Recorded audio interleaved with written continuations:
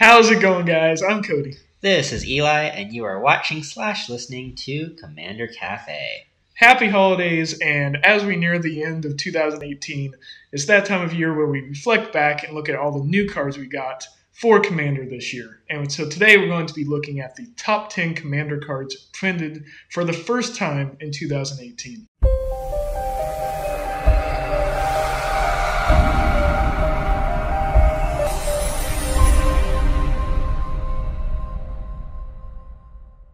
So to start off, we're going to list off some of our honorable mentions. Um, the first being a set of five. It is the new versions of the Elder Dragons. Yeah, I like these dragons because it they gave us new commanders that did unique things and gave us a lot of different color combinations to do those things. Mm-hmm. It's nice to bring back the, the shard colors Mm-hmm. because we haven't had too many commanders in those recently. Yeah, and for the most part, they all do pretty unique things, like the strategist dealing with walls. We haven't really had something that cared strictly for that, aside from Da- Doran, the siege tower. But Mm-hmm. Chromium is cool and unique. We have we got Nicol Bolas back, so Each one brings their own little bit of flavor to the table. So overall, some cool stuff to build decks around um, made this year. The next one we have is Twilight Prophet. Um, overall, just a very good engine to give you card advantage throughout the game. hmm There, there's so many cards in black that do a very similar effect. However, normally you lose the life. This one's giving you the opposite. You gain the life. Your opponents are losing the life based off of the card that you get from it. Yeah, and a lot of the effects that do that are on enchantments where black is better at reanimating creatures than it is, so you can get more value out of this in the long run. Yeah, so many ways to bring it back. Next up, we have Mnemonic Betrayal, Mnemonic. Mnemonic. Mnemonic Betrayal. Uh, yeah, this one was my pick, uh, one of my picks, just because the Yawgmoth's Will, I think it is, it, this is basically a better version of that. You get access to everyone's graveyard instead of just your own. Um, so I like it a lot. I haven't gotten to play it yet, but it's one I'm excited to try. Following that, we have Jora Weatherlight Captain, which was one of the new commanders that came out of Dominaria. Yeah, she was the first red blue is it artifact commander we had before the Commander 2017 decks came out, and I still think she may be one of the best ones. She has some good effects. Uh, definitely has become more recently kind of a artifact storm hmm uh, commander, but in the end, she's still in just a base artifact themed deck. She can do a lot of work by drawing a lot of cards. And our last honorable mention is your pick, Estrid's Invocation. So just an overall great utility card. Um, comes back every turn to copy any other enchantment that's out. So whether your opponent has a Rhystic Study, Mystic Remora, um, anything that exiles someone else's stuff, you can exile that with this for a turn. Get your stuff back, let them replay theirs. Just kind of some shenanigans to be had with this. For sure. All right, well, let's go ahead and jump into the top 10. First up, we have Immortal Sun. Um, just so much utility on this artifact. Um, for six mana, you get to shut down planeswalkers, you get extra draw, you get uh, discounts on your spells, and an anthem effect. The fact that you get both card draw and ramp on one card is extremely powerful, especially in decks like red, white, Boros, and stuff like that that have trouble getting that kind of advantage. Yeah, some good abilities thrown onto this, and while six mana is a little high, it makes everything else cheaper. So it's it's worth it to run it if you're gonna be able to play it. Hopefully, turn five, six, and And Start- beyond. yep, and always a great thing, especially if someone in your uh, pod has a planeswalker deck. Oh, yeah. Super friends. Shut them down hard. Following that, we have number nine, Muldrotha the Gravetide. Yeah, this one I think is just an overall very powerful commander. The reason it's not higher on the list is just because I feel like it is just that, just a a commander. It doesn't fit inside too many decks, and the soul time makes it a little more difficult to do. But as a commander itself, very powerful. hmm So much utility, you get to play any permanent type from your grave once per turn, uh, and all of the ones, or for each permanent type. So, so many uh, graveyard shenanigans could ramp over and over with an artifact or enchantment that ramps you, or a creature even. Following that, we have number eight, Retrofitter Foundry. I like this one just because it's a, an outlet if you can create infinite mana. Gives you infinite tokens, and at that point, you should have a way to close out the game. Yeah, just there's only so many, especially colorless things that you can funnel your infinite mana into. So if you do have infinite mana, this is a great one mana artifact just to toss in your deck. Yes, cheap to get out there. I think the fact that it untaps itself just kind of lends itself to being broken. Mm-hmm.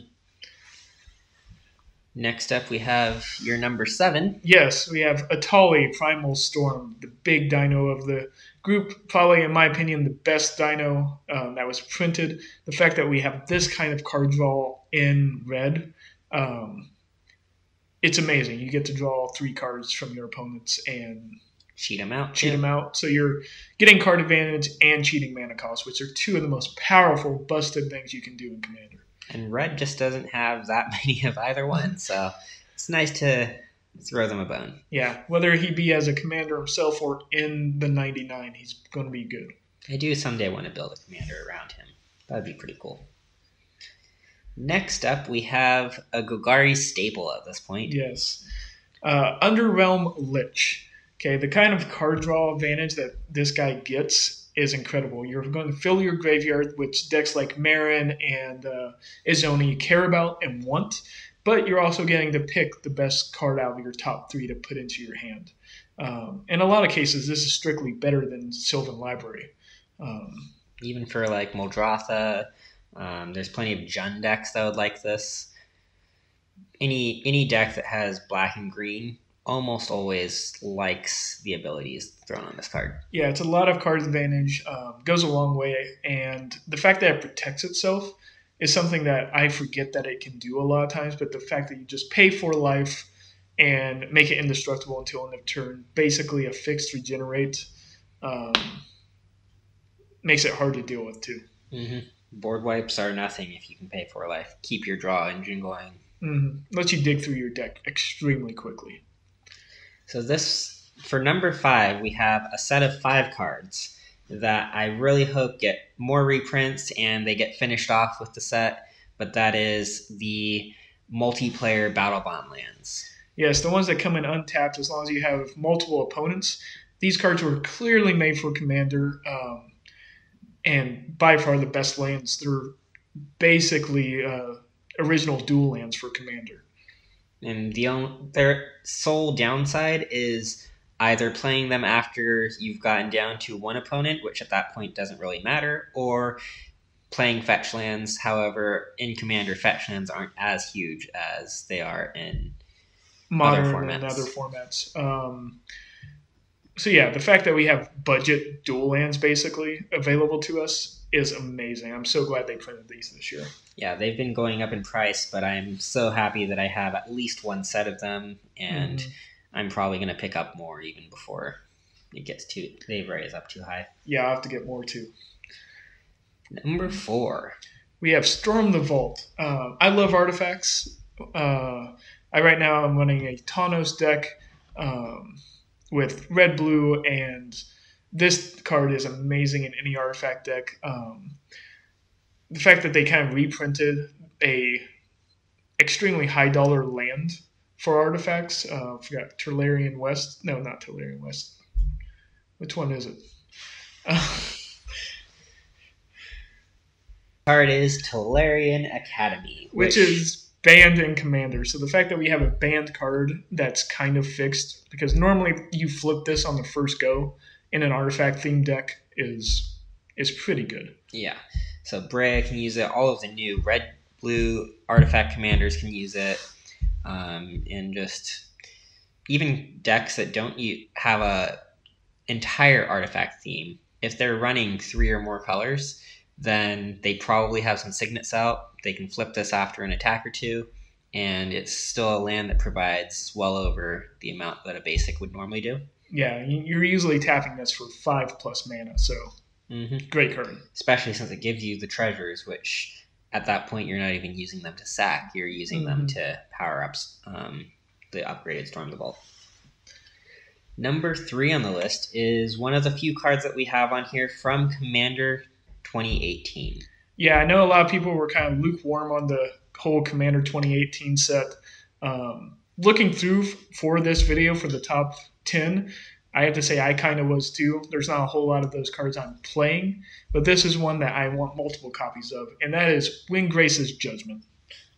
instant speed can hit one permanent of any player or no, one non-land permanent but that's still just amazing value for five mana you get to at, in most cases hit three things um, destroy them they can be an enchantment an artifact creature anything that is a threat you can get rid of it with this and that's three total things that's a, a great value especially at instant speed Yeah, instant speed I think is what makes this. If this was sorcery, I would not be as hot on this. It probably wouldn't even make my top 10. Hmm The, the the ability to play it at flash is just so amazing. Next up, we have a card that's actually seeing a lot of play in standard as well. We have Cleansing Nova. Yes, uh, I love this card. The more I use it, I have a deck that runs it in standard. Uh, the downside is it is run in standard, so the price is creeping up there. But the fact that you have the option of the flexibility to destroy either creatures or enchantments is a, is amazing, especially since we have the enchantment commander deck came out this year. So we do have a lot of decks running those enchantments um, and artifacts. So we got the artifact and enchantment deck. This deals with both of those decks extremely well, and is just a five mana wrath, which I think five mana wraths are for the most part actually better than a lot of the four mana wraths. Mhm. That extra flexibility is just Yeah. well worth it to me. It's a one mana cheaper austere command, and uh, while austere command gives slightly more flexibility, this goes in so much easier, and I believe still might have a lower price tag. Although don't quote me on that. and our number one. Of course, one of the most looked forward to cards of Guilds of Ravnica is Assassin's Trophy.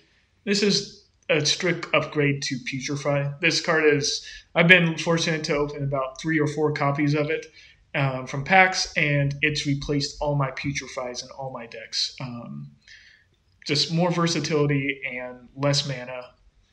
Yeah, with with how heavily black and green are played, and with white having a number of drawbacks, running things like Path to Exile can be a little bit difficult. Um, and having more flexible removal in two commonly played colors makes this a major staple at this point. Especially now that, thanks to the command zone, we know that if you're playing white, you're automatically at a disadvantage. um, so you want to be in Golgari.